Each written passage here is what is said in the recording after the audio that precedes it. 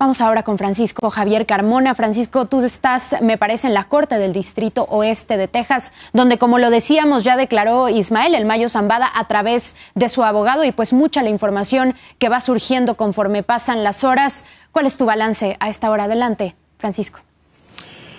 ¿Qué tal? ¿Qué tal, Noelia? Muy buenas tardes. Pues sí, mira, estoy precisamente aquí en el exterior del edificio federal de esta Fiscalía eh, del Distrito Oeste de Texas, donde pues se han formulado cargos en contra de Ismael eh, Zambada García, alias el Mayo Zambada, quien fue detenido hace ya 30 horas desde que se conoció eh, todo este operativo por parte del Buró Federal de Investigaciones y la Agencia Antidrogas de los Estados Unidos.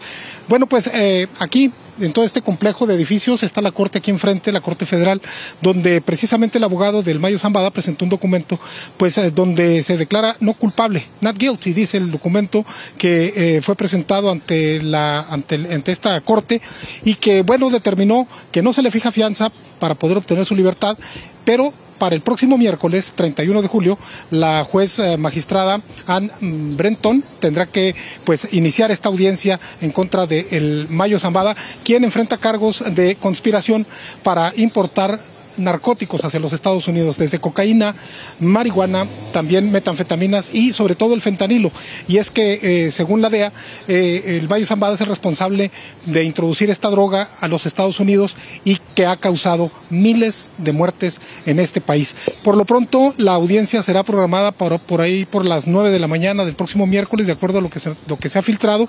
Y es que la información pues está a cuentagotas. Las autoridades federales únicamente eh, se han mantenido herméticas en cuanto al operativo y todo esto que se ha realizado para la aprehensión de Ismael El Mayo Zambada y también de Joaquín Guzmán López, quien se supone eh, podría eh, ser eh, trasladado a Chicago o quizá a la ciudad de Nueva York, donde podría enfrentar cargos por también por narcotráfico. Por lo pronto, el Mayo Zambada sigue aquí en El Paso, podría ser trasladado a una prisión federal de, La Tuna o, hay otra prisión federal a una hora de aquí de, la ciudad de El Paso, Texas, y por lo bueno, pues eh, las autoridades mantienen pues eh, la vigilancia de este hombre, el más, eh, el, el líder, uno de los líderes del cártel de Sinaloa, que fue detenido hace ya, te digo, Noelia, 30 horas aquí en El Paso, Texas. Así es, Paco, ya se cumple pues la primera noche, podemos decirlo, que el Mayo Zambada pasa pues sin libertad a lo largo de su vida.